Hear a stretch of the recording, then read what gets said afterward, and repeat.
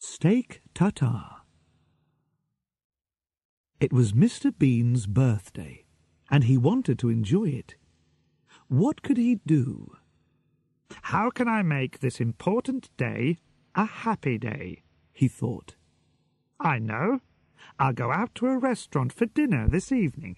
I'll enjoy that. Mr. Bean didn't often eat in restaurants.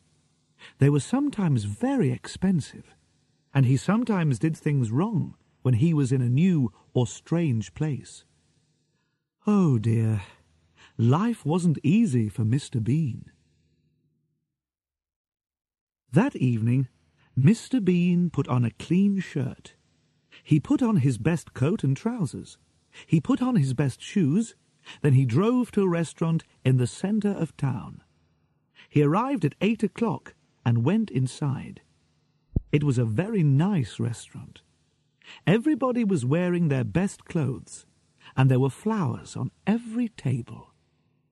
I'm going to like it here, thought Mr. Bean. This is a good restaurant for my birthday dinner. The manager met him at the door. Good evening, sir, he said. How are you?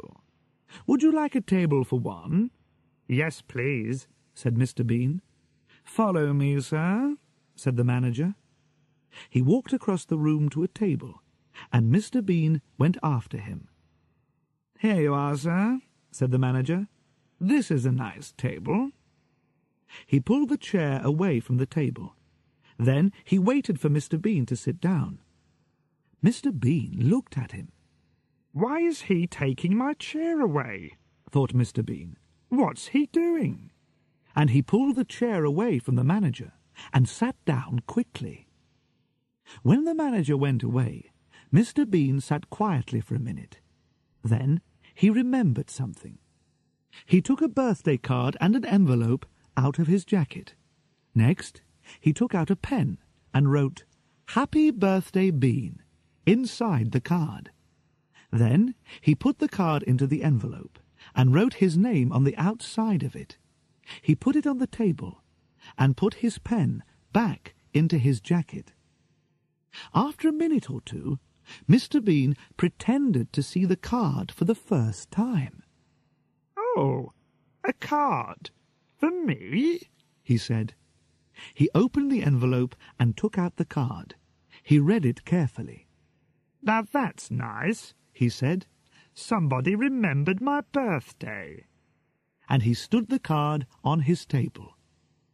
The manager arrived with the menu and gave it to Mr. Bean. Mr. Bean started to read it.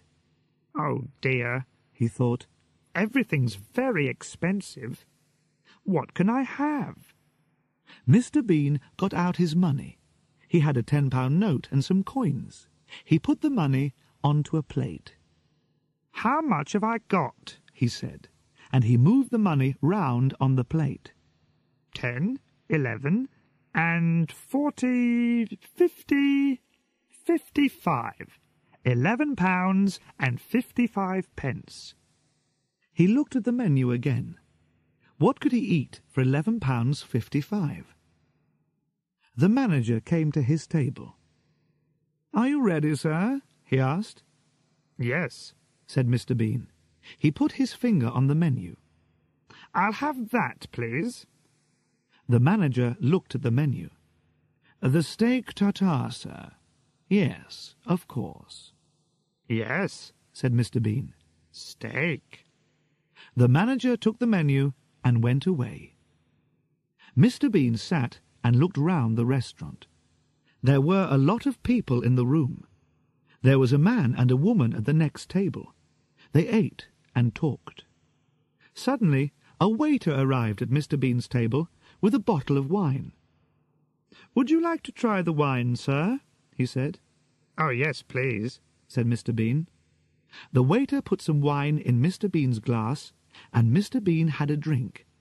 It was very nice. He smiled, and the waiter tried to put more wine into the glass. Of course, the waiter was right. First, the customer tries his wine.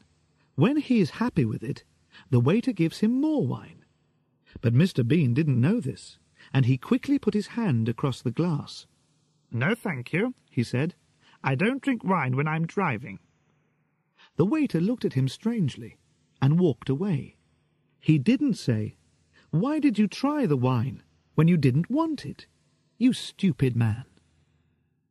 Mr. Bean took the knife from the table and started to play with it. He pretended to be a bad man. He pretended to push the knife into somebody. But he didn't really want to kill anybody, of course. It was a game. The woman at the next table looked at him angrily, and Mr. Bean quickly moved the knife. Next, he hit the glasses and plate on his table with it. Ping, ping, ping, they went. And after a minute, he played the song Happy Birthday on the glasses. He smiled and thought, I'm very clever. But the woman at the next table didn't think, that's clever, or, oh yes, that's funny. She thought, that man's really stupid. And she looked hard at Mr. Bean. Mr. Bean put the knife down and looked at his napkin. It's a very nice napkin, he thought. The waiter saw Mr. Bean looking at his napkin. He didn't say anything, but suddenly, flick, he opened it for Mr. Bean. That's clever, thought Mr. Bean. I'll try that. And he began to move his napkin. Flick, flick, flick. Suddenly, the napkin flew out of his hand. It flew across onto the next table. The woman at the table looked round again, but Mr. Bean pretended not to see her. His face said, It's not my napkin. A minute later, the waiter arrived with his food. There was a large cover on the plate, and Mr. Bean couldn't see the food. But he gave the waiter the money on the table. Customers don't usually give a waiter money when he arrives with the food, but the waiter didn't say anything. He took the money and put it in his jacket. Mr. Bean was happy. I'm doing everything right, he thought. The waiter took the cover off the plate and walked away. Mr. Bean looked at the food in front of him. He put his nose near the meat and smelled it. Then he put his ear next to it. What's this? he thought. He put some of the meat into his mouth. Suddenly, the manager arrived at his table. Is everything all right, sir? he asked. Are you happy with everything? Mmm, said Mr. Bean. He smiled. The manager smiled too. He walked away, and Mr. Bean's face changed. There was no smile now. Ah, he thought. They didn't cook this meat. But he had to eat it. I don't want people to think that I'm stupid, he thought, but I'll never ask for steak tartare again. Never. He pushed his plate away. But then the waiter went past his table. Is everything all right, sir? he asked. Oh, yes, said Mr. Bean. He smiled. Yes, everything's very nice, thank you. He smiled and pretended to eat some meat. But the waiter went away before Mr. Bean put it into his mouth. What can I do with it? he thought. I can't eat this. Where can I hide it? Then he had an idea. Carefully, he put the meat into the mustard pot and put the cover on it. Where can I put some now? he thought. I can't eat it, so I've got to hide all of it. Oh, yes, the flowers. He took the flowers out of the vase, but then the manager went past, so Mr. Bean pretended to smell the flowers. Mmm, very nice, he said. The manager smiled and walked away. Quickly, Mr. Bean put some meat into the vase and pushed the flowers in on top of it. He looked round the table. Where next? he thought. Yes, the bread. He took his knife and cut the bread roll. Then he quickly ate the middle of it. Now he could push some meat inside the roll. He did this. Then he put the roll down. He looked at the meat on his plate. There's a lot of it, he thought. Where can I hide it now? He looked at the small plate on the table. Perhaps he could hide some meat under the plate. He looked round. Nobody's watching me, he thought. So he took more meat from the big plate in front of him and put it under the small plate. Then he pushed down hard with his hand. The waiter walked past his table again. Mr. Bean smiled at him and put his arm on the plate. After the waiter went away, he pushed down on the small plate again. That's better, he thought. Now you can't see the meat. Good. But there's more meat. Where can I hide it? He looked round the table. The sugar pot, he thought. But it's got sugar in it. What can I do? He thought quickly. Then he put some sugar into a wine glass. Next, he put some of the meat into the sugar pot. Then he put the sugar from the wine glass on top of it. Good, he thought. Nobody can see it in there. Suddenly, Mr. Bean could hear music. Where's that coming from? he thought. He looked round and saw a man with a violin. After a minute or two, the man came across to Mr. Bean's table and played for him. Mr. Bean smiled. This is nice, he thought. Then the man saw Mr. Bean's birthday card, and the music changed. The man started to play Happy Birthday. The people at the other tables looked round when they heard the song. Who's having a birthday, they thought. Then they saw Mr. Bean and smiled at him. Mr. Bean smiled back at them. He pretended to eat some of the meat, but he didn't put it into his mouth. The man with the violin walked round Mr. Bean's table and watched him. He played his violin and waited for Mr. Bean to eat the meat. And he waited and waited and waited. I'll have to eat some, thought Mr. Bean. He'll only go away when I eat it. So he put the meat into his mouth, and the man with the violin turned away to the next table. The meat was in Mr. Bean's mouth, but he didn't want to eat it. He wanted to put it somewhere. But where? He looked at the man with the violin. He moved quickly. He pulled open the back of the man's trousers and opened his mouth. The meat fell inside the trousers. He smiled. That was clever, he thought. The man with the violin moved round the next table. He played a song to the man and the woman. The music was very beautiful. They listened and drank their wine. They watched the man with the violin, so their eyes weren't on Mr. Bean. Nobody's eyes were on Mr. Bean.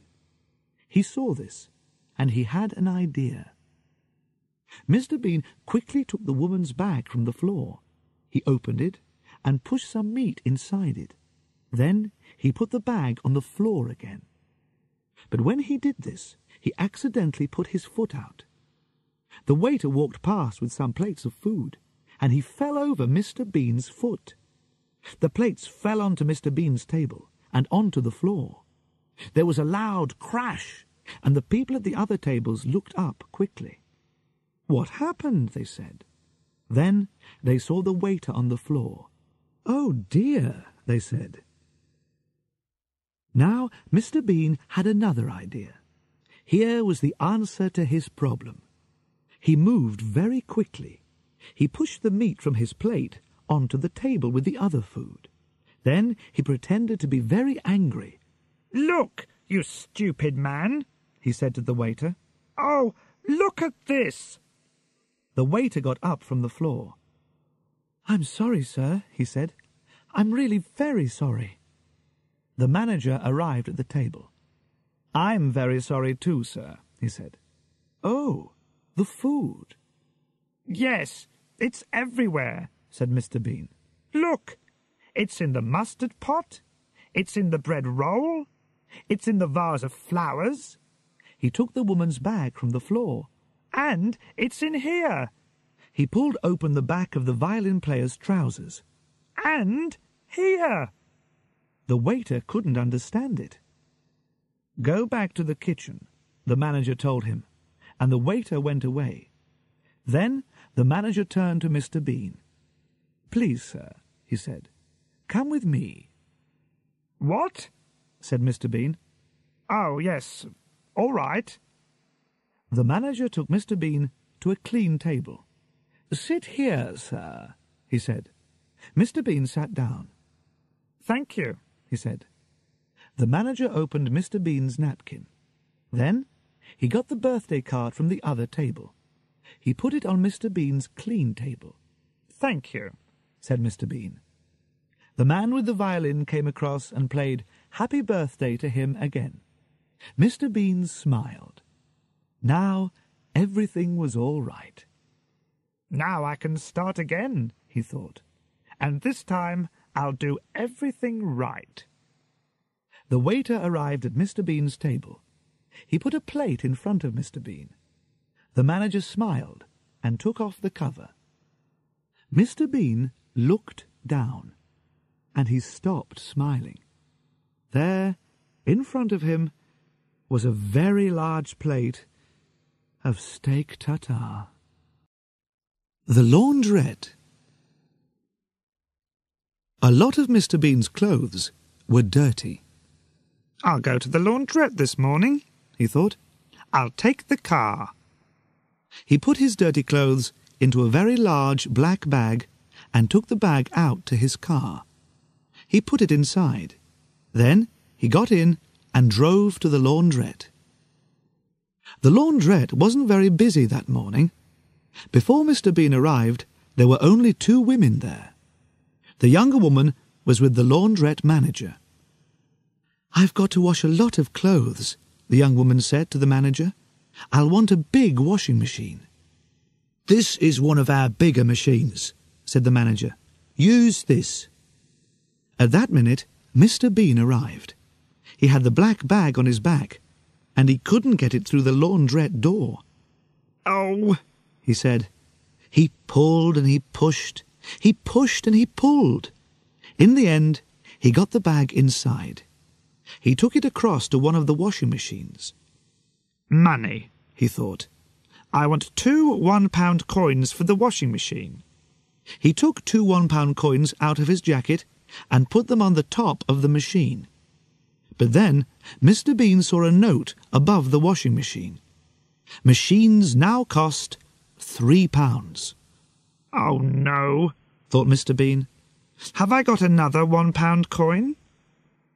He looked in his jacket and his trousers, but he could only find a five-pence coin. He put this on top of the washing machine. Then Mr. Bean remembered something. He did have another one-pound coin. But... He looked round. The young woman was next to the big washing machine. Mr. Bean saw her putting some clothes into it. The laundrette manager was busy in his little office. Nobody's watching me, thought Mr. Bean. Good.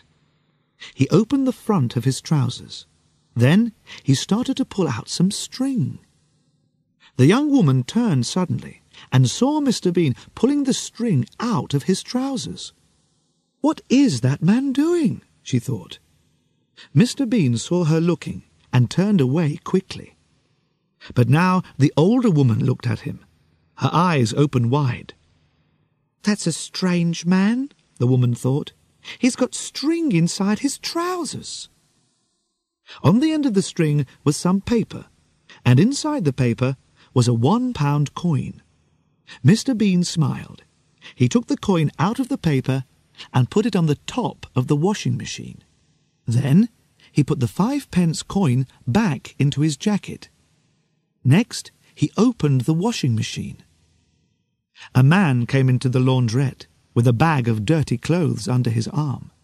He was young and strong. When he saw Mr. Bean, he smiled.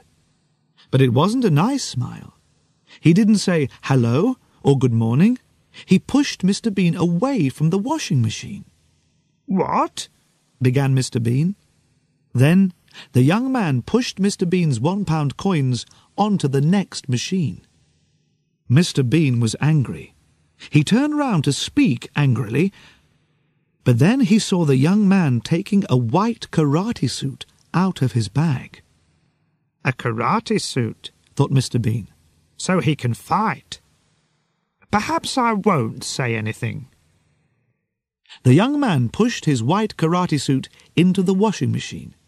Then he put some money into the machine and sat down on a chair. He took a magazine out of his bag and began to read. Mr. Bean started to put his clothes into his washing machine. There were some pairs of underpants. Monday, he said, and he put one pair into the machine. Tuesday, he put the next pair into the machine. Thursday, Friday, Saturday. Three pairs went into the machine. Mr. Bean stopped. Wednesday, he thought. Where are Wednesday's underpants? Oh, it's Wednesday today, and I'm wearing them. What could he do? He had to wash them, so he had to take them off. He looked round. Where can I go? he thought. There was a partition near the washing machines. I'll go behind that, he thought. He started to walk to the partition, but the young man put his legs across the floor. He wanted to make Mr. Bean angry. But Mr. Bean remembered the karate suit. The man could fight. He walked round the young man's legs and said nothing. He went behind the partition and carefully took off his brown trousers. The young woman put some of her clothes into one of the very big washing machines. The other clothes were on the top of a smaller machine near the partition. She didn't watch her clothes very carefully. She didn't see Mr. Bean put a hand round the partition, and she didn't see him put his brown trousers down with her clothes. Mr. Bean took off his underpants, Wednesday's underpants. Then he put his hand round the partition. He took something, but it wasn't his brown trousers. It was a long brown skirt. Mr. Bean put on the skirt and came out from behind the partition.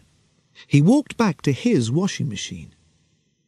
The young woman took the brown trousers from the top of the smaller washing machine. She didn't look at them. She put them into the big machine. Next, she shut the door of the machine and took a magazine. Then she sat down on a chair near the dryers and started to read.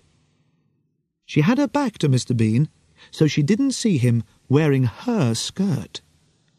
Mr. Bean put his Wednesday underpants into his washing machine. Then he closed the door and put in his three one-pound coins. He sat down on a chair and saw the skirt. Oh, no, he thought. What's this? A skirt? Where are my trousers? The young man walked past him, and Mr. Bean tried to hide the skirt with his hands. I don't want him to see me in this skirt, he thought. What would he think? The young man went across to a machine on the wall and bought a cup of conditioner. Mr. Bean got up and went back to the partition. He looked at the washing machine next to it and remembered the young woman's clothes. She put my trousers in the big washing machine with her things, he thought. He went across to the big washing machine and tried to open it, but he couldn't do it. I'll have to wait, he thought, and he walked back to his chair. The young man put his cup of conditioner on the top of his washing machine. Then he looked at Mr. Bean and saw the skirt. He started to laugh. Mr. Bean looked away quickly. He got his black bag, and a pair of underpants fell out of it. Oh, Sunday's underpants, he said. He tried to stop his washing machine and open the door, but the machine didn't stop. What can I do? he thought. He looked down at the skirt. I know. I'll wear Sunday's underpants under this skirt.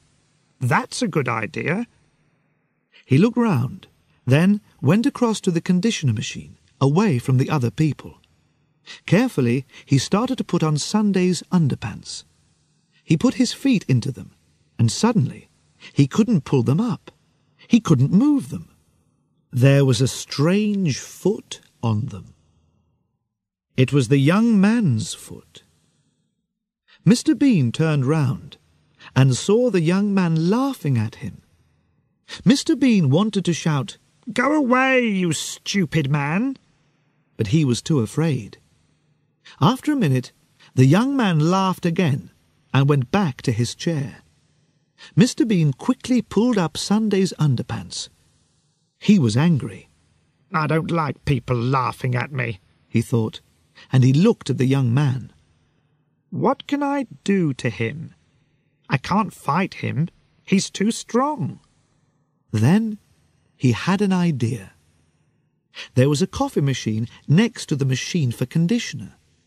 Mr. Bean went across to it and got a cup of black coffee.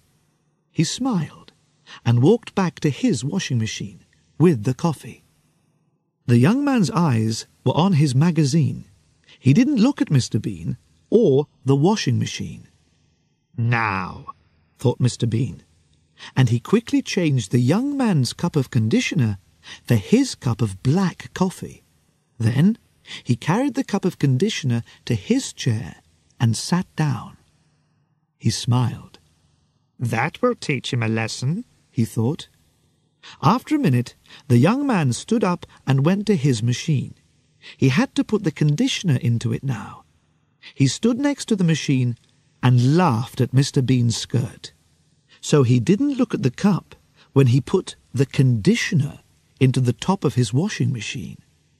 But of course, it wasn't conditioner. It was black coffee. Mr. Bean tried not to laugh. The young man sat down in his chair again and looked across at his washing machine. There was a window in the door, and the young man could see his white karate suit going round and round in the water. But the suit wasn't white now. It was brown. What? he shouted. He jumped up. He ran across to the cup and looked inside it. Then he put it to his nose and smelled it. Coffee! he shouted. Then he looked across at Mr. Bean. Did you? Mr. Bean didn't answer, but his face said, Who? Me? He pretended to drink his cup of coffee, but it wasn't coffee. It was conditioner. The young man went to find the laundrette manager. Mr. Bean stopped drinking and said, Ah! The young man showed the brown karate suit to the laundrette manager. What's wrong, sir? said the manager. This karate suit was white when I came in here, said the young man. Now look at it. What did you do to it? said the manager. Me? I didn't do anything to it, said the young man angrily. He pulled the manager across to his washing machine. This is your machine, is that right? Y yes, said the manager. The young man showed him the karate suit again. This cost me two hundred pounds, he said. What are you going to do about it? Uh, will you come to my office, please, sir? said the manager. We can talk about it there. Mr. Bean sat opposite a large dryer. His underpants and other things were in the machine. They were clean now and nearly dry. Mr. Bean waited. After a minute, the dryer stopped. He got up and opened the door. Then he started to take out his clothes. A minute or two later, the young woman came to the next dryer and started to take out her clothes. They were dry too. Perhaps my trousers are in there, thought Mr. Bean. The young woman took some clothes out of the machine and put them into a bag. Then she went back to the big washing machine for her other clothes. Mr. Bean moved quickly. He started to look through her clothes for his trousers, but he couldn't find them. Where are they? he thought. They're here somewhere.